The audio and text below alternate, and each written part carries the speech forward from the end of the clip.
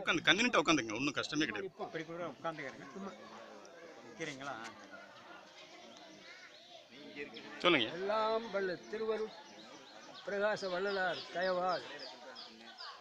இன்றைய வள்ளப்பெருமானாரின் பிறந்த நாள் இங்கு நடைபெற்று நமது அன்பு தந்தை மெய்வழி தலைக்கலானந்தர் அவர்களின் ஜீவ சமாதியில் குருவணக்கம் செய்யப்பெற்று மக்கள் அனைவரும் சங்கி சன்மார்க்க சங்கத்து அன்பர்கள் அனைவரும் கலந்து கொண்டு விழா சிறப்பாக நடைபெற்றது.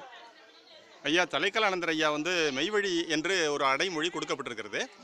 அவர்கள் வந்து எந்த வழியிலிருந்து வள்ளலார் நெருக்கி வந்தவங்க அப்படிங்கிற விவரம் கொஞ்சம் தெரியணும் ஐயா.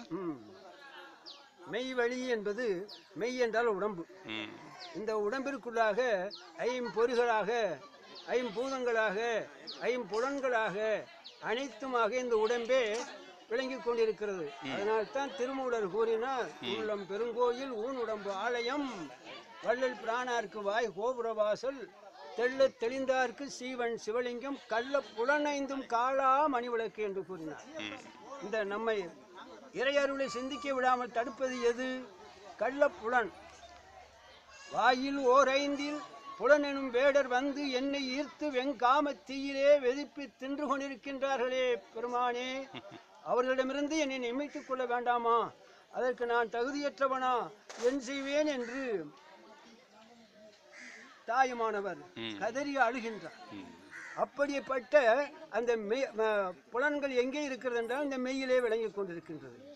அந்த மெய்யிலே விளங்கிக் கொண்டிருக்கக்கூடிய அந்த புலன்களை கைவசப்படுத்தி மரணம் எனும் பெரும் பிணியிலிருந்து தன்னை விடுவித்துக் கொள்வதற்காக வல்லற் பெருமானார் வகுத்த வழிகளிலே மரண பெரும்பிணி வாரா வகைமிகு கரண பெருந்திரள் காட்டிய மருந்து என்று கூறி பெருமானார் அவர்கள் நமக்கு ஒரு நல்ல மருந்தாக அருட்பெரும் சோதி தனிப்பெரும் கருணை என்ற மகா மந்திரம் உச்சரிக்க செய்து அதன் மூலம் நாம் சிவசிவா என்று நாம் சிந்தித்து இருப்போமே ஆனால் மெய்ஞானமாகி மெய் ஞானமாகி மிளிர்கின்ற மெய் சுடரே என்று நாம் நம்மை இரவா வரத்தில் இருப்ப- நம்மை சேர்த்துக்கொள்ள அருட்பெரும் சோதி என்றும் தயாராக உள்ளார்.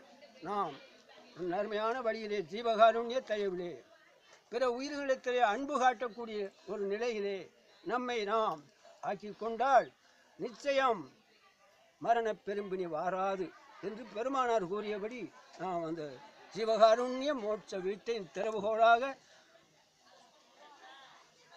அன்னதானம் தர்மச்சாலை சிறப்பு அன்னதானம். குருநாதன் அவர்களுடைய அருள் செயலால் நடைபெற்று வருகிறது.